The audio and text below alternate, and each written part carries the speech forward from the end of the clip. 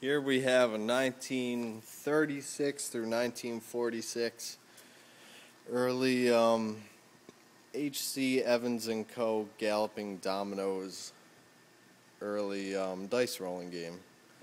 It's a pretty cool game, and it's absolutely amazing that it still works. It is 66 years old.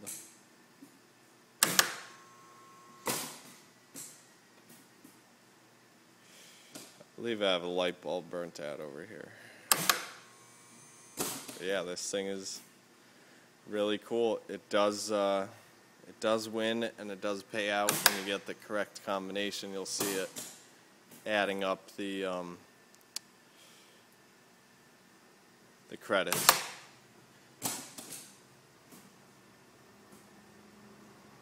Uh, looks like I might need some more work. Maybe not.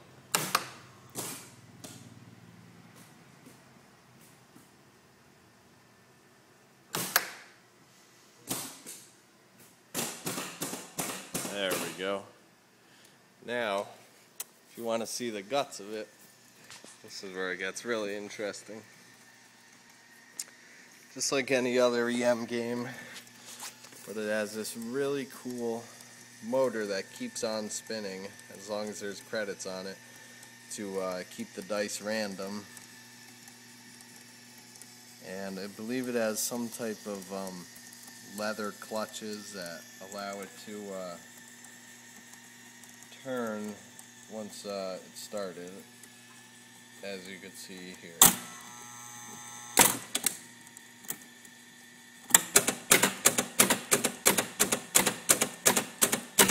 I won something. Won a lot of something. But